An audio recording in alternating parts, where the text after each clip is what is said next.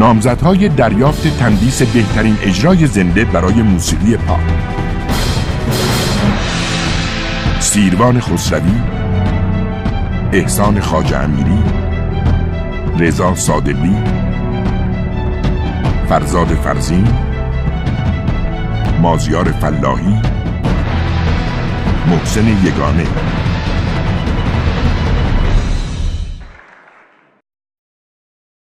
تندیس طلایی بهترین اجرای زنده پاپ در سال 91 به انتخاب کارشناسان و اهالی موسیقی با رأی برابر مشترکاً اهدا می شود به آقایان احسان خاج امیری و محسن یگانه. احسان خاج امیری و محسن یگانه.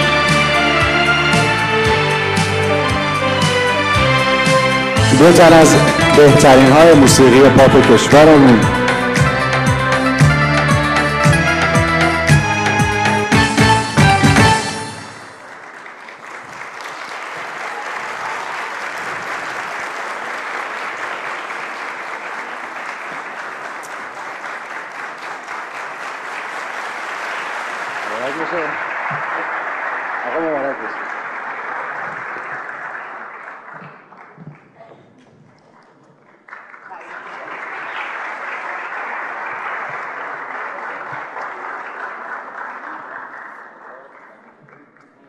مردمی پیش منه ولی ها.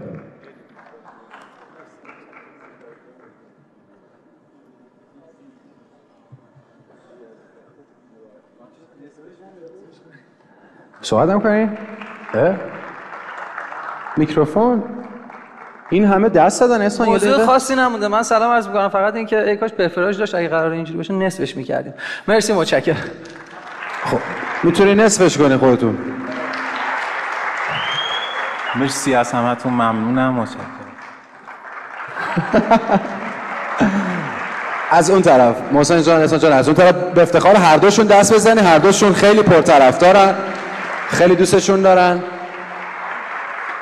هر دو علاوه بر خوانندگی آهنگسازی هم می‌کنن. حالا محسن یگانه ترانه های زیادی هم گفته و غالبا هم ترانه های خودش رو می‌خونه. برای همین هر دو رو با هم جمع کنید. دست خیلی استثنایی برای هر دوشون بزنید.